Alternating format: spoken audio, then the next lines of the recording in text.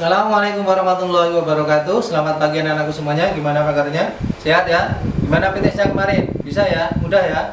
Oke, kembali lagi bersama Pak Yen di mata pelajaran Bahasa Arab Seperti pelajaran sebelumnya Nanti Pak Yen akan bagi menjadi dua sesi materi Nanti ada dua sesi materi yang akan Pak Yen sampaikan di video pembelajaran kali ini Nanti uh, di pembelajaran tentang kebun. Nanti ada beberapa kosakata yang akan kita pelajari. Nanti akan Pak bagi menjadi dua sesi biar nanti kita tidak terlalu banyak untuk menghafal kosakatanya. Kita masuk dalam bab di kebun atau menyebutkan benda-benda yang atau tumbuhan yang ada di kebun. Nanti bisa dilihat di buku paket bab 2 ya.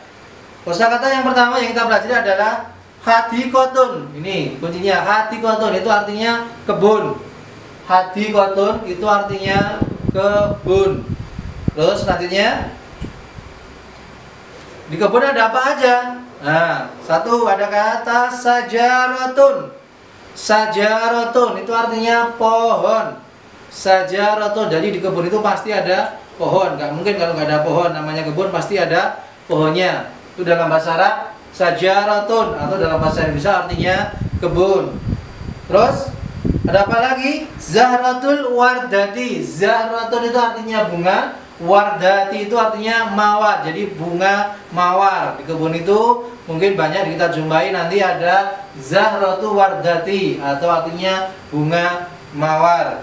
Terus lagi ada zahratul jasmin. Bunga melati. Zahratul jasmin. Nah, kalau ada bunga mawar pasti kebanyakan ada bunga melati juga. Dalam dalam bahasa Arab zahratu jasmin bunga melati.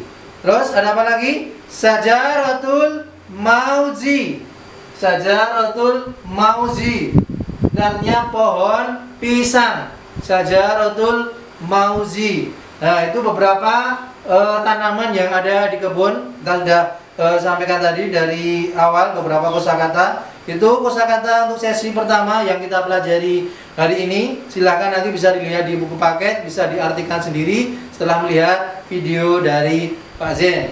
Itu saja yang bisa Pak Yen sampaikan untuk sesi materi kali ini. Sekali lagi pesan dari Pak Yen, jaga kesehatan, jangan keluar rumah kalau tidak terlalu penting. Demikian dari Pak Yen, terima kasih. Assalamualaikum warahmatullahi wabarakatuh. SD Muhammad Yaklantara, cerdas, kreatif, berakhlak mulia.